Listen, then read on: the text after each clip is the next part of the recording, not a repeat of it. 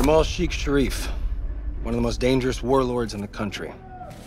He commands a heavily armed militia, using it to control several important districts in the city, which means none of our humanitarian aid is getting through. You have to find Jamal and eliminate him. He relocates twice a day. Last time we pinpointed him was at the Zanaki Hotel, which is right here. Not much of a chance he's still there, but it's as good a place as any to start looking.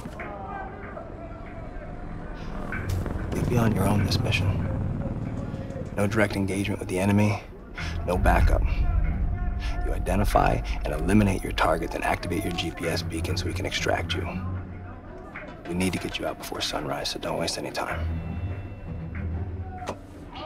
The last American soldier that was captured here was pulled through the city behind a Jeep. They found his head, one of his legs in a fishing boat.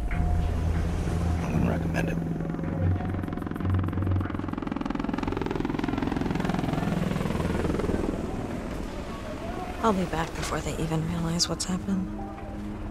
Watch yourself out there, Jodie. I don't want anything to happen to you.